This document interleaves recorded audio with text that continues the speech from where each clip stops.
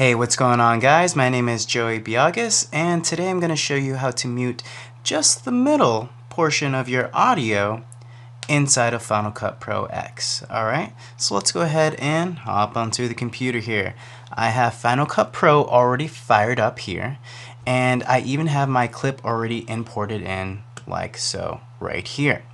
So once you've done all your editing and you want to work on some of the audio, uh, what I'm going to do is cruise down to the bottom here and kind of expand this a little bit just so it makes things a little bigger. We can see things a lot better. Alright, perfect. Okay, the first thing that you want to do is detach, or you can, you, you can do a couple things, um, but I'm going to show you what I like to do is I like to completely detach the audio from the video so I can see them separately and work on them separately. I don't like how Final Cut combines them together.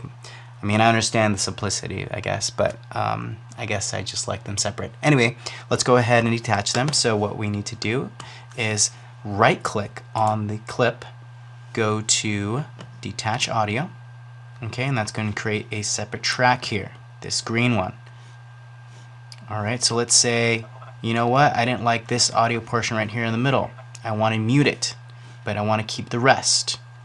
That's fine, we can do that.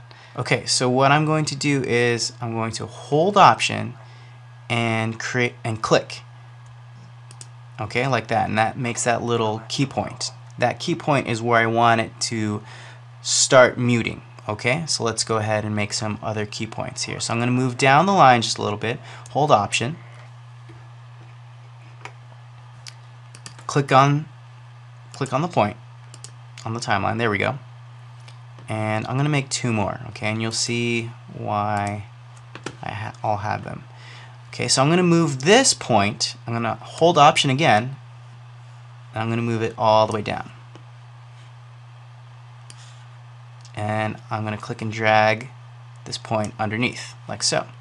Then I'm gonna take this one click and drag okay all the way down then slide it back Boom, perfect. So the audio will be going along and when it reaches this point it's going to go down to negative 96 dB or basically negative infinity. Okay, and then once it reaches this point it's going to go back to zero and go back to normal audio level. Alright, so that's how you mute the middle section of your video inside of Final Cut Pro X. Now if you do have any other questions, please let us know, and thank you for watching.